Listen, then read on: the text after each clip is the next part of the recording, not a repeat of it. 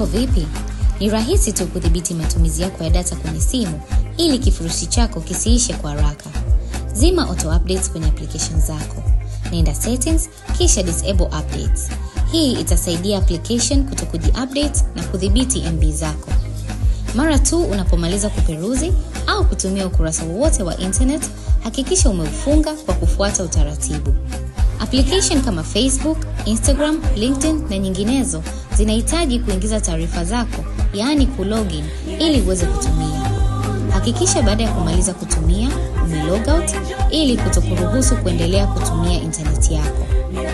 Hakikisha application zilizoko kwenye simu yako unazitumia, kwani kama una application nyingi bila kuzitumia zinaweza kutumia intaneti yako bila wewe kujua, kwani lazima zifanye updates.